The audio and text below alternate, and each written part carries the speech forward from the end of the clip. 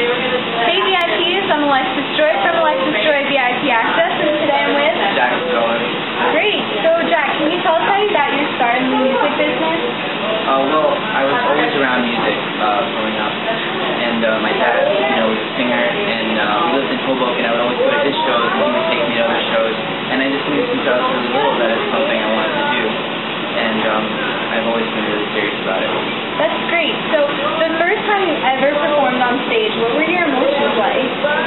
I was really scared. I actually had a fever, really high fever, and um, it was a cool talent show, and um, I wasn't sure. I, you know, I really wanted to do it anyway, so I just did it, and then instead of uh, being a bow at the end, I ran to the stage.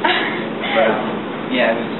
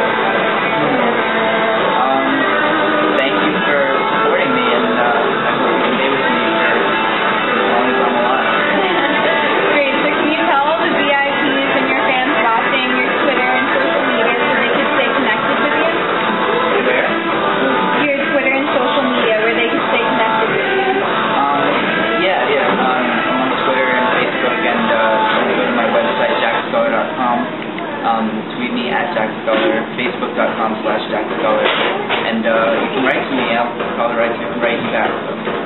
Great, great. So thank you so much for talking with me, Jack. Thank you. And make sure